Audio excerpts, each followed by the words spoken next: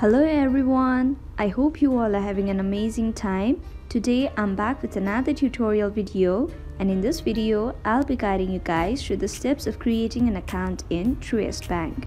So if you want to find out how that can be done, then make sure to watch this video till the end.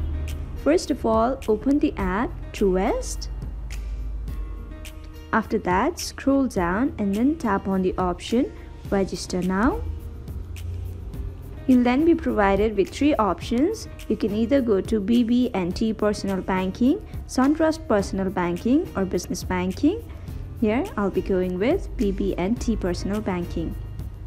Now you need to select how you would like to register. You can either register by providing your Truist debit or ATM card number or by providing Truist prepaid debit card number or Truist account number. If you don't have account yet, then you need to tap on the last option. But if you have any one of the provided account, then select the one that you have and then provide the details that will be asked accordingly.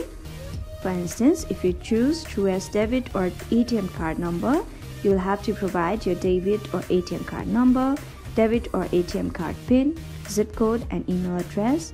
Once you have provided the information, tap on continue then follow the further instructions provided and give all the required details. Finally, you will be able to register for the mobile banking service of Truist Bank. So we have come to the end of the video. I hope this video was helpful for you guys. If it was, then please make sure to like, leave a comment, share and subscribe to our YouTube channel, Help Deck. We'll be back with more such videos. Until then, have a great time. Bye-bye.